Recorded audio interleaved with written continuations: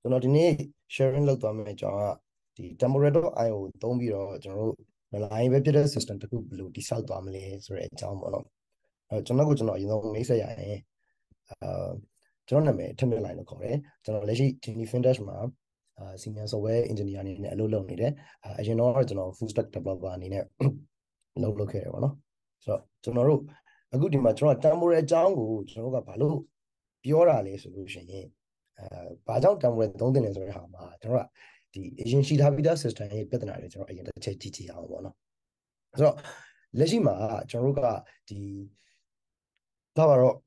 ကောက်တီကို monolithic ပဲဖြစ်ဖြစ်အာ microservice ပဲဖြစ်ဖြစ် SOA ပဲဖြစ်ဖြစ်ကျွန်တော်တို့ဒီလာဘက်မှာရေးကြရတယ်ပေါ့နော်ဆိုတော့အဲ့လိုရေးလာတဲ့အခါမှာ code base ကကြီးကြီးကြီးကြီးလာပြီးသွားတဲ့အချိန်မှာကျွန်တော်တို့ကဆက်ပါကျူကျူ job တွေကျွန်တော်တို့သုံးကြရတယ်ပေါ့နော်ဆိုတော့အဲ့တော့ကျွန်တော်အဲ့ဒီ job ကြီးကို run ထားတဲ့အချိန်မှာအဲ့ဒီကောင်ကျွန်တော် skill လုပ်ဖို့က တော်တော်လေးခက်တယ်နောက်တစ်ခုကဒီကျွန်တော်ကဟို request တစ်ခုပို့လိုက်တယ်အဲ့ကောင်က process လုပ်နေတယ်ဆိုတော့အဲ့ဒီဂျားထဲမှာကျွန်တော်ဂျားထဲမှာသွားပြီးတော့ entire လုပ်လို့မရတော့ပြန်ဘူးပြီးလို့ရှိရင်အဲ့ဒီ job တစ်ခု run နေတာပဲဖြစ်စေ request တစ်ခုဝင်လာလို့အဲ့ဒီ request ကိုကျွန်တော်က process လုပ်နေတဲ့အချိန်တွင်းမှာပဲဖြစ်စီ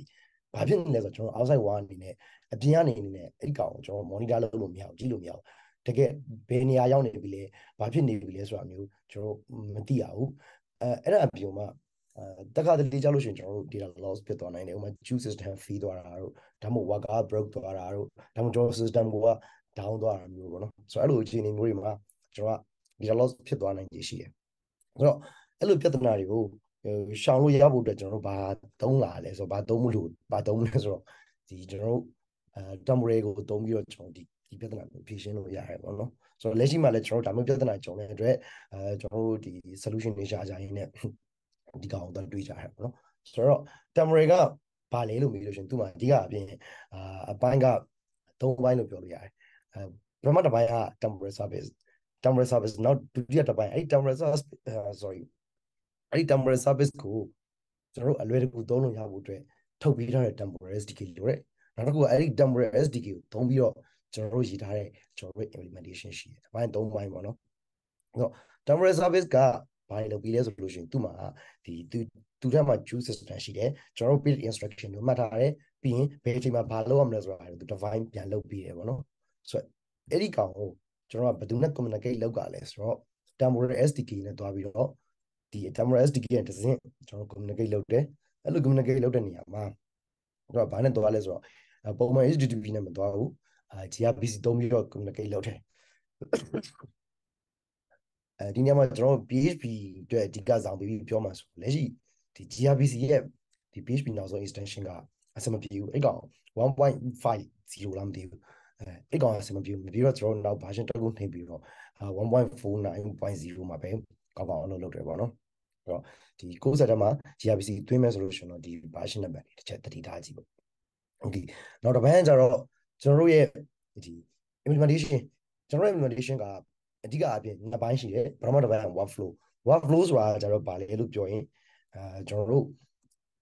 ဘာလုပ်မလဲဆိုတဲ့ instruction set တွေပေါ့ဗျာကျွန်တော်အဲ့ဒါပြီးတက်တက်ဆက်ပြောမယ်ဆို workflow ရှိမယ်ပြီးအဲ့ဒီ workflow တွေထဲမှာကျွန်တော်စုစည်းထားတဲ့ orchestrate လုပ်ထားတဲ့ activity တွေရှိတယ်ဆိုတော့အဲ့နှစ်ခုကိုပေါင်းပြီးအဲ့ဒါကျွန်တော်တို့ကကျွန်တော်တို့ implement လုပ်ကြမယ်အပိုင်းဆိုတော့အဲ့လို temporary နဲ့သုံးပြီးတော့ဒီ workflow တွေ activity တွေတစ်ဆင့်ကျွန်တော်တို့သုံးလို့ရတဲ့ပုံစံက ပုံစံမျိုးစုံသုံးလို့ရတယ်ဥပမာကျွန်တော်တို့ပုံမှန် request response life cycle အတိုင်းသွားချင်တယ်ဆိုလို့ရှိရင်ကျွန်တော် synchronous ပုံစံနဲ့သုံးလို့ရတယ်အလုံးမမဟုတ်ဘူး due job တွေပုံစံမျိုး dispatch လုပ်ပြီးသွားချင်တယ်ဆိုလို့ရှိရင်ကျွန်တော်တို့ asynchronous way နဲ့သုံးလို့ရတယ်အဲ့ဒါအပြင်မှာကျွန်တော်ဒီ distributed system တွေမှာ service တစ်ခုနဲ့တစ်ခုချိတ်ဆက်ပြီးတော့ကျွန်တော်တို့အလုပ်လုပ်ရတဲ့အခါမှာဂျာတွေကနေပြီး orchestrate လုပ်ပြီးတဲ့ layer တစ်ခုအနေနဲ့လည်းကျွန်တော်ဒီ demo တွေကိုသုံးလို့ရတယ်ပေါ့နော် okay အဲ့တော့ကျွန်တော်နောက်တစ်ခုဆက်ပြီးကြည့်အောင်ပေါ့ ဆို workflow ပေါ့ဆိုဒီနေရာမှာ workflow ဆိုတာအာပြောရမယ်ဆိုလို့ရှိရင်ကျွန်တော်တို့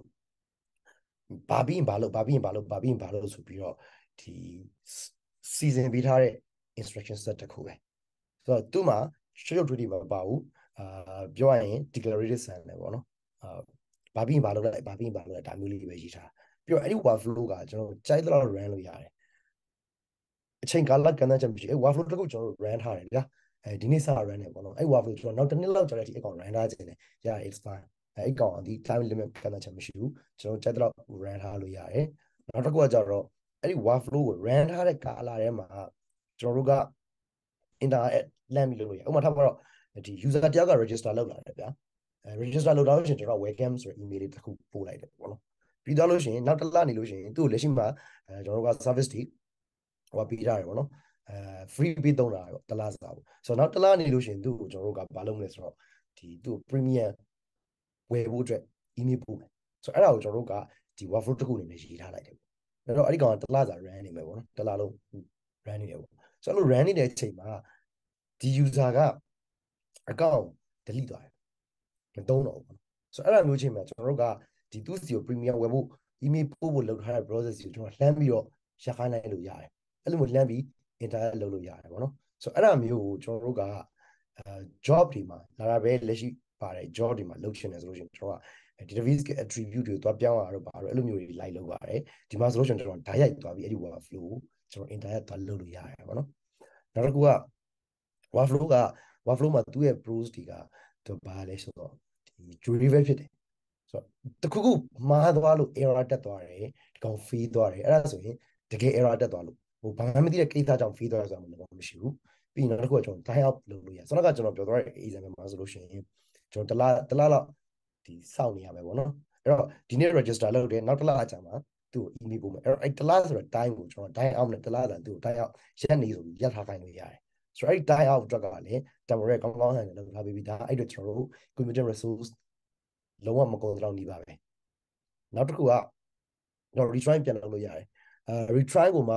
ကျွန်တော်ဘယ်လိုပုံစံ retry လုပ်ချင်တယ်ဆိုတဲ့ဟာဒီကျွန်တော်အတိအကျလိုက်ပြီးတော့ control လုပ်လို့ရတယ်နောက်တစ်ခုကသူ့မှာ stack trace ဆိုတဲ့ကောင်ပါတယ်ဘယ်လောက်ဘယ်ဘယ်နေရာမှာဘာဖြစ်သွားလဲဆိုတာကျွန်တော်အသေးစိတ်ပြန်ပြီးကြည့်လို့ရတယ်ပေါ့နော်နောက်တစ်ခုကတော့ oh sorry ပဲပေါ့ကျွန်တော်စောတော့က problem တွေထဲမှာတော့ပြောခဲ့တယ်ကျွန်တော်တခုခုလုပ်တဲ့အချိန်မှာကျွန်တော်ဘာဖြစ်နေမှမသိဘူးဖြစ်နေဆိုတော့ဒီ workflow ထဲမှာဒါဆိုလို့ရှိရင်ကျွန်တော်တို့ကဘယ်နေရာရောက်နေပြီဘာဖြစ်နေတယ်ဘာ input ပဲလို့ဘာ output တွေထွက်နေတယ်ဆိုတဲ့ဟာတွေကိုကျွန်တော်တို့လက်ရှိဘာဖြစ်နေတယ်ဆိုတာအတိအကျကျွန်တော်တို့မြင်နေရတယ် သိနေရတယ်ပေါ့နော်ပြီးရင်ဘာဖြစ်သွားတယ်ဘာတွေဖြစ်ခဲ့တယ်ဘာတွေလုပ်ခဲ့တယ်ဆိုတော့ဒီ audit log ဒီတကူလုံးလည်းကျွန်တော်ကြံခဲ့တယ်ပြောရရင်မျက်စိနဲ့မြင်အောင်ပြောရရင်ဒီ telescope သုံးမှုကြလိမ့်မယ်ထင်တယ် telescope မှာဆိုလို့ရှိရင် request တွေဝင်လာဆိုလို့ရှိရင်ကျွန်တော်မှတ်မှတ်ပြီးသွားတယ်ဗျာဒီ version မှု off ထားရဆိုလို့ရှိရင်ပေါ့ဆိုတော့အဲ့လိုမျိုး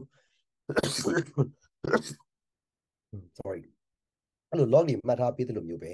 ကျွန်တော်ရဲ့ workflow မှာလည်းဘာလုပ်သွားလဲဆိုတာ step by step တစ်ဆင့်ချင်းစီကိုကျွန်တော်တို့ log map ထားပေးတယ်ပေါ့နော်နောက်တစ်ခုက recovery ပဲဆိုတော့ကျွန်တော်ခုနပြောခဲ့တဲ့မှာ problem မှာ data feed data loss ဖြစ်သွားရဆိုတဲ့ကိစ္စရှိရဲ့ workflow မှာဆိုရင်ကျွန်တော်က data loss မဖြစ်အောင် cover လုပ်ပြီးဖို့အတွက်သူမှာ workflow replace ဆိုတာပါတယ်အဲအဲ့ဒီ replace ဘယ်လိုလုပ်လုပ်လဲဆိုလို့ရှိရင်ကျွန်တော် code sample နဲ့ကြာတခါလေးကျွန်တော်တွေ့ပြီးပြမယ်နောက်တစ်ခုကဒီ workflow မှာတစ်ခုတတိထားဖို့လိုတာကျွန်တော်သူက deterministic ဖြစ်ဖို့လိုတယ်ဘာလို့ deterministic ဖြစ်ဖို့လိုလဲဆိုတော့ကျွန်တော် workflow replay ကိုကောင်းကောင်းအလုပ်လုပ်ဖို့အတွက်ကောင်းကောင်းစပို့လုပ်ဖို့အတွက်ကုတ်က deterministic ဖြစ်ဖို့လိုလို့အဲ့တော့ပထမတစ်ချိန်မှာကျွန်တော်တို့ကတစ်ပြီးနှစ်လာနှစ်ပြီးသုံးလာအဲအဲ့လိုမျိုး run ထားခဲ့တဲ့ order ကြီးကိုနောက်တစ်ခေါက် fail လို့ထပ် try တဲ့အချိန်မှာနှစ်ကအရင်လာနှစ်ပြီးသုံးလာပြီးမှတက်လာဆိုဖြစ်လို့မရဘူး instruction တွေဒီ input တွေအစားကျွန်တော်ကဒီ predicted way တိုင်းပဲ deterministic ဖြစ်ဖို့လိုတယ်ပေါ့နော်ဒါသူ့ရဲ့ဟို limit လောက်ထားတဲ့ limitation ပေါ့အဲအဲ့ဒီ limitation ဘာကြောင့်ထားရလဲဆိုရှင်ဒီ workflow replay ကောင်းကောင်းအလုပ်လုပ်ဖို့အတွက်အဲ့ဒါကျွန်တော်တို့ဒီ temporal dashboard UI ကိုမြင်မြင်သားလိမ့်မယ်နောက်တစ်ခုကကျွန်တော်တို့ဒီ temporal workflow တွေမှာကျွန်တော်ကဟို code တွေကို scroll နဲ့ရေးလို့ရတယ် parallel ပြန်ပြီးခိုင်းလို့ရတယ် browser တွေခြားပါတော့ကျွန်တော်က activity တော့ service 3ခုကိုတစ်ခုပြီးမှတစ်ခုခေါ်မဲ့အစား service 3ခုကျွန်တော်ပြိုင်တူ request 3ခုပြိုင်တူလုပ်လိုက်လို့ရတယ်ပြီးရင်အဲ့ request 3ခုကျွန်တော် ပြန်ထိုင်ဆောင်နေလို့ရတယ်သုံးခုစလုံးက parallel run သွားမယ်ပေါ့နော်ဆိုတော့အဲ့လိုဟာမျိုးလုပ်လို့ရတယ်နောက်တစ်ခုက timer ပေါ့နော်အာအော် sorry ကျွန်တော်အပေါ်က jury ဘက်မှာပြောတဲ့ time out နဲ့နည်းနည်းလျောသွားတယ် time out ကအပေါ်က time out ကအာဘာလဲဆိုတော့ဒီတစ်ခုခုကိုအာ retry ပြန်မလုပ်ခင်မှာဆိုတော့ကတော့ error တက်သွားလို့တခုခု retry ပြန်မလုပ်ခင်မှာအချိန်ဘယ်လောက်ကြာအောင်စောင့်ပြီးမှ retry ပြန်လုပ်မလဲဆိုတာတိုင်းအောင်ကအဲဆိုတော့ကတော့ကျွန်တော်ပြောခဲ့တဲ့ exam ပဲ time ပါအဲ user register လုပ်တယ် တလားလောက်စောင့်နေပြီးအဲ့တလားစာစောင့်နေဖို့ပဲ time မှာကျွန်တော်လုပ်ပေးထားမယ်ပေါ့နော်ဆိုတော့ဒီနေရာမှာကျွန်တော် PHP မှာ sleep ဆိုတဲ့ကောင်ရှိတယ်အဲ့ဒီ sleep ဆိုတဲ့ကောင်မျိုးကိုကျွန်တော်ဒီ workflow ထဲမှာလာသုံးလို့ရှိရင်အဲ့ကောင်လုံးလုံးမှာမဟုတ်ဘူးအဲ့ဒီ sleep method ဆိုကျွန်တော်ဗာသုံးရမယ်ဆိုတော့ time မှာသုံးရမယ်ပေါ့နော်အဲ့တော့ workflow က simple ဖြစ်တယ်ပြီးရင်အဲ့ဒီ workflow ထဲမှာကျွန်တော် deterministic ဖြစ်ဖို့လိုတယ်အဲ့တော့ deterministic မဖြစ်နိုင်တဲ့ code တွေကျွန်တော်တို့မှာရှိလာအဲ့ဒါတွေကျွန်တော်ဘယ်မှာသွားရေးမလဲဆိုတော့ကျွန်တော် activity ဆိုတာနောက်တစ်ခုရှိတယ် activity ထဲမှာကျွန်တော်သွားရေးမယ်အဲ့ဒီ activity ကဒီ code တွေကို externally run လုပ်ရတယ်ပြီးရင်ကျွန်တော်တို့အာ outside wall ကျွန်တော် internet လမ်းပြီးတော့လုပ်လို့ရတယ်ဗောနော်ဥပမာ APN call တွေလမ်းခေါ်တာတို့ database access လုပ်တာတို့ဘာဖြစ်လို့အဲ့ဒါတွေကိုကျွန်တော်တို့က activity မှာပဲလောက်ရတယ်လဲဆိုလို့ရှိရင်ကျွန်တော်တို့ activity တစ်ခုကိုလမ်းပြီးတော့ temporary ကဒီ workflow တွေကနေတစ်ဆင့်ကျွန်တော်က activity ကိုလမ်းခေါ်လိုက်တယ်အဲ့ဒီ activity ကနေပြီးကျွန်တော် database တွေက data တစ်ခု access လုပ်တာဖြစ်ဖြစ် APN call တစ်ခုလမ်းပြီး access လုပ်တာဖြစ်ဖြစ် outside wall လမ်းပြီး connect လုပ်တာဖြစ်ဖြစ်အဲ့လိုလုပ်ပြီးသွားတဲ့အချိန်ရလာတဲ့ results ကိုမလုပ်ထားလဲ temporary က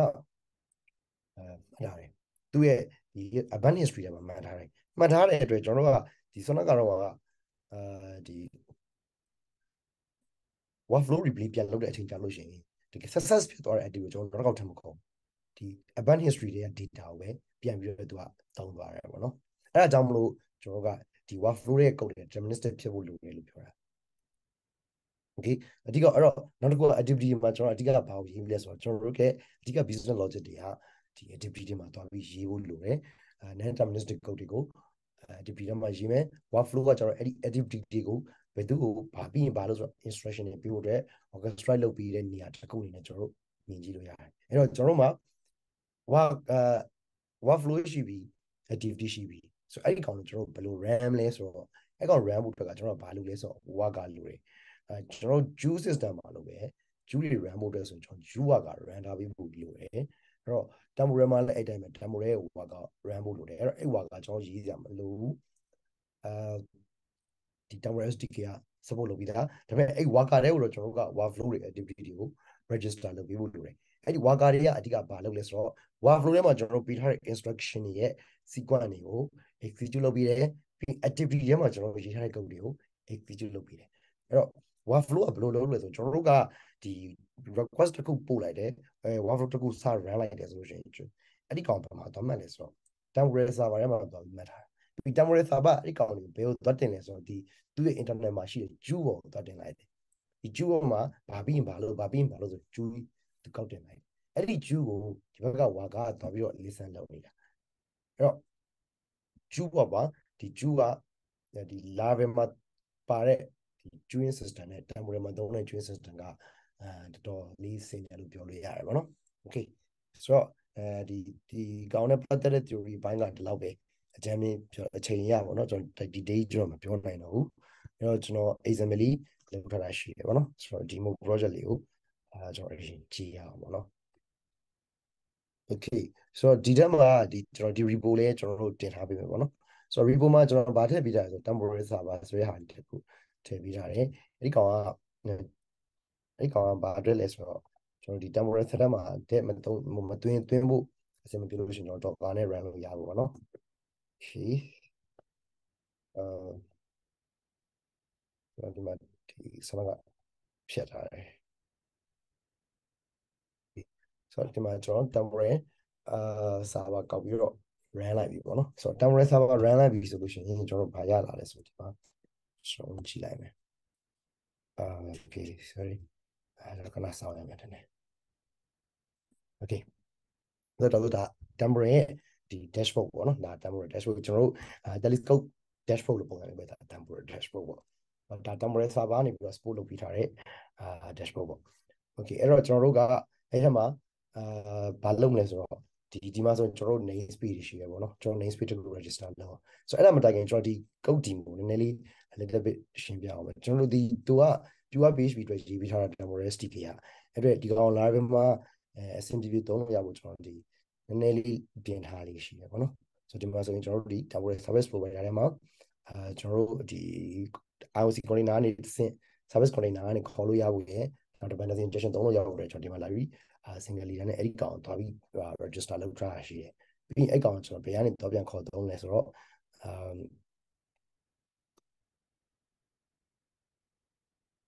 ဒီမှာဆိုရင်ကျွန်တော်တို့အာ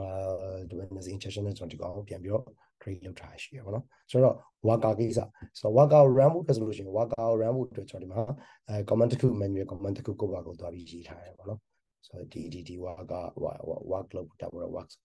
အဲ့ work command ကိုကျွန်တော် dead run မှာမဟုတ်ဘူးဆိုတော့ဒီဘာနဲ့ run မှာလဲဆိုတော့ road runner နဲ့ run မှာ road runner ကဒီ temporary ကိုအဓိက page မှာသုံးလို့ရောက်တဲ့အဓိကဝင် contribute လုပ်ပေးတာလေအဲ့ဒီ road runner ရဲ့ author ပဲပေါ့နော် okay ဆိုတော့ဒီမှာဒီ r.emf file ထဲမှာကျွန်တော်ဒီ command ကိုသွားပြီးတော့ run ခိုင်းထားတာပေါ့နော်ဆိုတော့အဲ့တော့အဲ့ဒါလေးမလုပ်ခင်ကျွန်တော်က register name name speed လေးကိုကျွန်တော်အရင်သွားပြီး register လုပ်လိုက်မယ်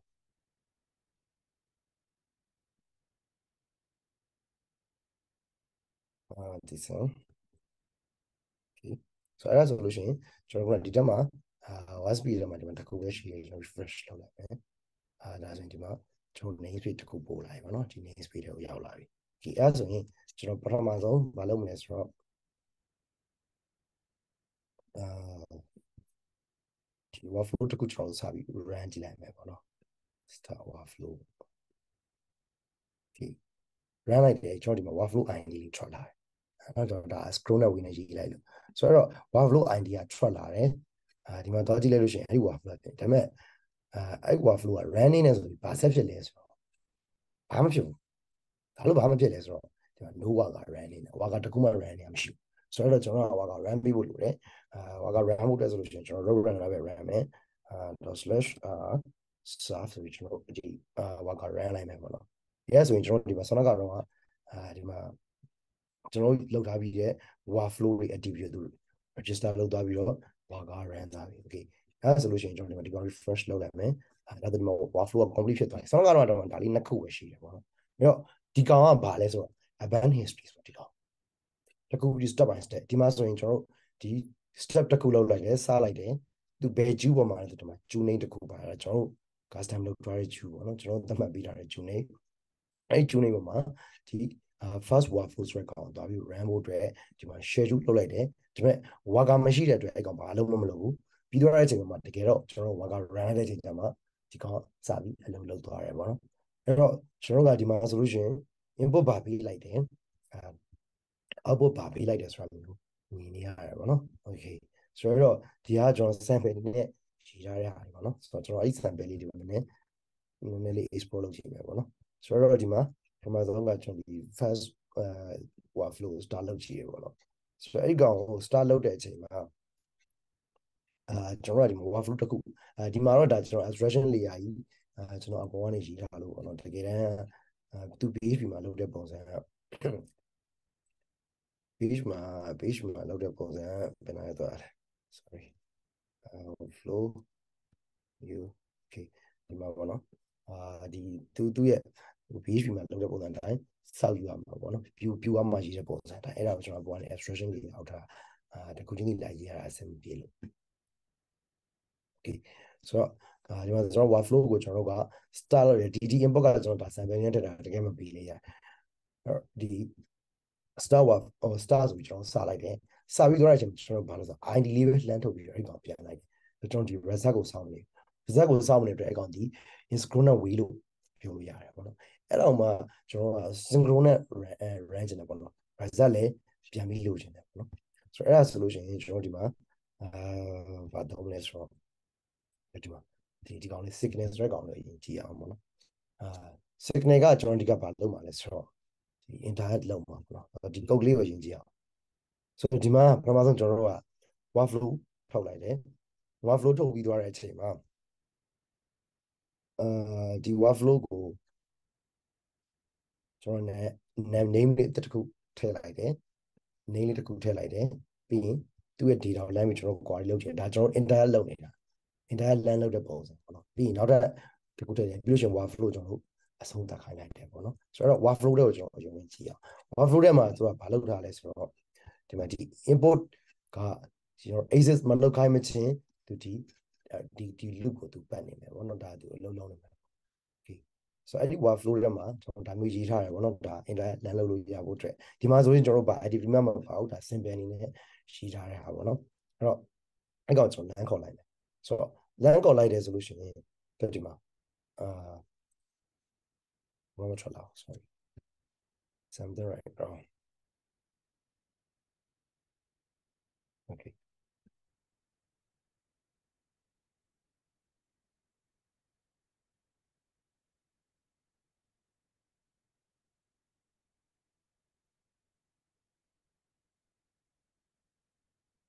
ဟုတ်ဒီဘာလေးခဏပေးလိုက်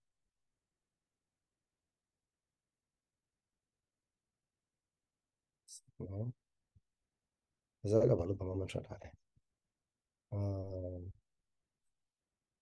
ဒီတော့အဲ့မှာ result ထွက်လာမှာနော်ကျွန်တော်ဒီ Java Center something wrong သွားပါ wrong သွားလည်းမသိဘူး okay ဆိုတော့ဒီကပြောချင်တာပြကျွန်တော် internet လမ်းပြီးလုပ်လို့ရတယ်ပေါ့နော်တကယ်လို့ကျွန်တော်တို့ကဒီမှာလမ်းပြီးတော့ easy ဆိုပြီးတော့ internet မလုပ်ခဲ့ဘူးဆိုလို့ရှိရင်အဲဒါဒီဒီ workflow ကြီးကရှက်သွားမှာမဟုတ်ဘူးเนาะတောက်လျှောက် brand နေမှာပေါ့နော်အဲ့ တော့နောက်နောက် example တစ်ခုကျွန်တော်တက်ပြီးတော့ပြချင်မယ်ဆိုတော့ဒီမှာဆိုလို့ရှိရင်ဒီမှာ essence workflow ပေါ့နော် sorry ဒီကောင်လေးကျွန်တော်ကြည့်လို့ရတယ် essence workflow လေးကျွန်တော်အားလိုက်မယ် essence workflow ဒီကောင်ရအောင်အာ start essence workflow essence အာ sorry sorry just အဲဟုတ်တယ် essence workflow ကျွန်တော် run အဲ့တော့ဒီမှာဘာလာလဲဆိုတော့ဒီကောင်က workflow id ကိုတန်းပြီးလာတယ်ဘာ rhythm မပြန်ပြီးဘူးအဲ့ဒီ essence workflow မှာဘာခေါ်လဲဆိုတော့ကျွန်တော်ဒီမှာဒီ inscroll နဲ့ when run လို့ရပါဆိုတော့ကျွန်တော်စမကပြောပြတယ်ဒီ parallel run သွားရဲဆိုတဲ့ကောင်ဒီမှာဒီဒီမှာဒီကောင်ဆိုလို့ရှိရင်ကျွန်တော်တို့အာ time stamp တစ်ခုယူရဲပြီးရင်ဒီအာ timer တစ်ခုသတ်မှတ်လိုက်တယ်ပြီးနောက်ထပ် time stamp တစ်ခုရအဲ့တော့ဒီနှစ်ခုကြားထဲမှာ second မရခင်မှာဒီကောင်ရက်နေမယ်ဆိုတော့ဒါ timer ပေါ့နော်ဆိုတော့အဲ့ဒါကိုမှအဲ့လို timer တော့အဲ့ဒီ timer တော့ timer ပဲကျွန်တော် timer သတ်မှတ်ခဲ့တယ်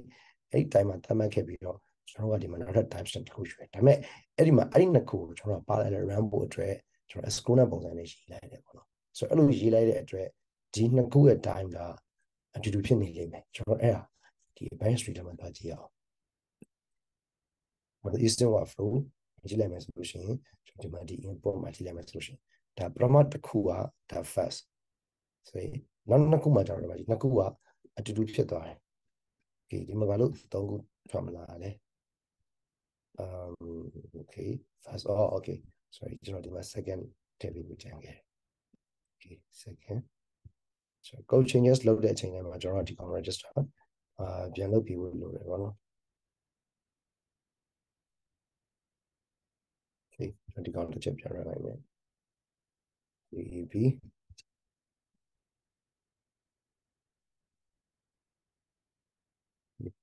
ဟုတ်ကဲ့ဆိုတော့ဒါဆိုရင်ဒီမှာပရမတ်တစ်ခုဒီ3 o 3တော့တော့နဲ့ဒီမှာဒီတော့လေးဆိုတော့ကျွန်တော် method ကရလိုက်တဲ့အတွက်တော့6မှာဖြစ်သွားတယ်ဒီတော့မှဒီမှာနောက်တစ်ခုကကျတော့ပါလဲ random သွားတဲ့အတွက် zero time stamp ဒီအတူတူပဲဖြစ်နေဒါကျွန်တော်အာ sample ပြတာပေါ့နော်ဆိုတော့ဆိုတော့က outside wire ကို connect လုပ်တဲ့ကိစ္စတွေမှာဆိုလို့ရှိရင်ကျွန်တော်တို့ကအဲဒီ activity တွေကိုဘယ်လိုသုံးလဲဆိုတော့ဒီ fast workflow မှာဆိုရင်ကျွန်တော် activity နဲ့ ကျွန်တော် activity တွေသုံးခဲ့တယ်ပေါ့နော်ဆိုတော့အဲ့ဒီ activity တွေကိုကျွန်တော်ကလှမ်းပြီးတော့ connect လုပ်ခိုင်းပါဆိုတော့အဲ့ဒီအဲ့ဒီမှာဒီကောင်ကကျွန်တော်ဒီ activity ထဲမှာကျွန်တော်ကောင်မှအာ tree to အဲမရေးထားဘူးပေါ့နော် tree to မရေးထားဘူးဆိုတာအာပုံမှန်ယူဆိုတာ string လေး return ပါဒါကြောင့်ဒီနေရာမှာကျွန်တော်ကဒီ distributed system တွေမှာဆိုလို့ရှိရင် data service တွေကိုလမ်းပြီးခေါ်ရတာမျိုးတွေအဲ database ကိုလမ်းပြီး access လုပ်တာမျိုးတွေတခြားတပ်ပါတီ service တခုကိုလမ်းပြီးတော့ API call ခေါ်ရတာအဲ အဲ့ဒါမျိုးတွေဆိုလို့ရှိရင်ကျွန်တော်တို့ဒီ activity code တွေမှာဒါရေးရမယ်ပေါ့နော်ရေးပြီးတော့ဒီကောင်ကဘာပြီးရင်ဘာလုပ်ပါဆိုလဲ step by step ကိုအာဒီ workflow ကနေပဲသွားပြီးတော့ handle လုပ်ပြီးသွားတယ်ပေါ့နော်ဆိုတော့အာဒီနေရာမှာကျွန်တော်တို့ကအဲ့ဒါပြောမှဒီ retry လုပ်လို့ရတဲ့ဟာပေါ့နော်ဆိုတော့ကဒီမှာဆို activity ပေါ့ဆို အဲ့ဒီ activity ကိုကျွန်တော်ကတပ်ပါတပ်ပါ service တကူတပ်ပါ service ဖြစ်ဖြစ်ကျွန်တော် micro service တွေကကျွန်တော် SOA တွေက service တကူပြလမ်းပြီးတော့ခေါ်တဲ့အချိန်မှာအဲ့ဒီ service က down နေဆိုတော့ down နေတဲ့အချိန်မှာကျွန်တော်တို့ကအဲ့ဒီကောင်ကိုအာဘယ်လို retry လုပ်မလဲဆိုရယ် retry option ကိုကျွန်တော်ကဒီစိတ်ကြိုက်ကျွန်တော် define လုပ်လို့ရတယ်ပေါ့နော်ဆိုအဲ့ဒါကျွန်တော်ဒီမှာ default အနေနဲ့လည်းပါပြီးသားဖြစ်တယ်အာဒီ first workflow မှာစမ်းကြည့်ကြအောင်ဒီမှာဆိုလို့ရှိရင် အာ activity ပေါ့နော်အဲပေါ့ okay ဒီကောင်ဆိုလို့ရှိရင် return policy က default ပဲအဲ interval 1 second ပြီးရင်ပြီးနှစ်ဆတိုးသွားမယ်ပြီး maximum ပထမ1 second စောင့်မယ်2 second စောင့်မယ်4 second စောင့်မယ်8 second စောင့်မယ်6 second စောင့်မယ်လို့ပေါ့နော်ဆိုတော့နောက်တစ်ခုကဒီ maximum 100 second မရောက်မချင်းတူအဲ့ဒါကိုဒါကြောင့် retry လုပ်နေပါပေါ့နော်အဲ့တော့မှအာနောက်တစ်ခုမှကျွန်တော်ကျွန်တော်ကကျွန်တော်ကကျွန်တော် custom retry policy ရေးလိုက်တယ်ပေါ့နော် custom retry policy ကျွန်တော်1 second စောင့်မယ်အာဒီကောင်က ဒီ2 second interval ထားမယ်2စထားမယ်ပေါ့နော်နောက်တစ်ခုက maximum ကျွန်တော်300ကျွန်တော်ဒီမှာ maximum 300လို့ကျွန်တော်ရေးခဲ့တယ် max attempt ကကျွန်တော်ဒီမှာ100လို့သတ်မှတ်ခဲ့တယ်ပေါ့နော်ဆိုတော့အဲ့ဒါတော့ဆိုသတ်မှတ်လို့ရတယ်ဆိုတော့ဒါက activity retry နဲ့ပိုင်းနဲ့ပတ်သက်ပြီးတော့ပေါ့နော်အာနောက်တစ်ခုဒီမှာကျွန်တော်ပြချင်သေးတယ်နောက်တစ်ခုရှိသေးတယ်အာဘာလဲဆိုတော့ sorry အာ activity ကို fail ဖြစ်သွားတဲ့အချိန်မှာ retry ပြန်လုပ်ဖို့ပေါ့နော်အာ ဒီကောင် retry workflow ပေါ့နော်ဆိုတော့ retry လုပ်မယ်ဆိုလို့ရှိရင်ကျွန်တော်ဒီကောင် retry workflow run လိုက်တော့ကျွန်တော်စောင့်နေဒါဒီကောင် synchronous way နဲ့ရေးထားတဲ့အတွက်အဲ့ကောင် retry လုပ်မှာအဲ့တော့ retry ကကျွန်တော်က3ကပြီးသွားတဲ့အချိန်မှာဒီကောင် return ပြန်လာတယ်ဆိုတော့အဲ့ဒါကိုကုတ်ထဲမှာတစ်ချိန်စီကြည့်အောင်နော်ကျွန်တော်လည်းချိန်တိကနေကိုနည်းနည်းလေးနည်းနည်း rush ပြောမယ်နော်အာ retry workflow ပေါ့နော်ဆိုတော့ဒီမှာဆိုလို့ရှိရင်ကျွန်တော်က retry option မှာအဲ့ဒီ workflow ကိုကျွန်တော်ဘေးလုပ်လို့ရတယ် retry မှာကျွန်တော် maximum attempt က3ကလို့ပြောထားတယ် 3က retry လို့ပြောထားတယ်အဲ့တော့အဲ့ဒီ workflow cluster ကိုကျွန်တော်ဝင်ကြည့်အောင် workflow ထဲမှာကျွန်တော်ဘာရေးခဲ့လဲဆိုလို့ရှိရင်အာဒီကောင်ကဒီ attempt ကအဲဒီ၃ချိန်မြောက်မြောက်ချင်းမှာကျွန်တော်က error တစ်ခုသလိုးထားတာအဲ့တော့အဲ့ကောင် fail နေမှာပဲဆိုတော့အဲ့ကောင်ကိုကျွန်တော်၃က PhD မှာ success ဖြစ်သွားမယ်ပေါ့နော်ဆိုတော့အဲ့တော့ဒီမှာအာကျွန်တော်ကြည့်မယ်ဆိုလို့ရှိရင်အာဒီမှာဆိုလို့ရှိရင် retry workflow ပေါ့နော်ဆိုတော့ဒီမှာ retry workflow မှာကျွန်တော်ကြည့်ကြည့်မယ်ဆိုလို့ရှိရင်အာကျွန်တော်တို့ first attempt မှာ fail တယ် second attempt မှာ fail တယ် third attempt မှာကျွန်မအဲ့ကောင်ဒီအာ success ဖြစ်သွားတယ် success ဖြစ်သွားတဲ့အချိန်ကျမှကျွန်တော်ဒီဘက်ကိုအာဒီမှာ response ပြန်လာတယ်ပေါ့နော် okay အာဆိုတော့နောက်တစ်ခုကကျွန်တော်တို့နောက်နောက်တစ်ခုကျွန်တော်ပြင်ထားလေးနောက်တစ်ခုထပ်ပြင်မယ်နောက်တစ်ခုက time out ပေါ့နော်ကျွန်တော်တို့ဒီ time out ပေါ့ဆိုတော့ဒီကောင်ကျွန်တော်တို့အာ time out သတ်မှတ်ထားတယ်ပေါ့နော်ဆိုတော့ဒီကောင်ကအာကျွန်တော်တို့ပြီးထား limit တွေမပြီးဆိုလို့ရှိရင်ဒီကောင်က time out ဖြစ်သွားတယ်ပေါ့နော်ဆိုတော့အဲ့ကောင်က time out ကျွန်တော်ဘယ်လိုလုပ်ထားလဲဆိုလို့ရှိရင် အာ time out workflow မှာဆိုလို့ရှိရင်အာကျွန်တော် time second ကို2 second ပဲစောင့်မလို့ပြောရတယ်ပေါ့နော်ဒါပေမဲ့ workflow ထဲမှာကျွန်တော်တို့က block သွားပြီးတော့ timer သတ်မှတ်လိုက်တော့3 second သတ်မှတ်လိုက်တယ်အဲ့တော့အဲ့ကောင်က expire ဖြစ်သွားတယ်ပေါ့နော် okay ဆိုတော့အာဒါလို့ဆိုလို့ရှိရင်ဒါအကြမ်းများဖြစ်တော့အာ workflow ဘယ်လို run လဲ temporal မှာဘာကြောင့်သုံးလဲဆိုတာမြင်လိမ့်မယ်လို့ထင်တယ်ပေါ့နော် okay အာဆိုတော့ညီချင်တာရှင်တမင်းလောက်ချိန်ရတယ်ဆိုတော့နေလို့ရပါတယ် thank you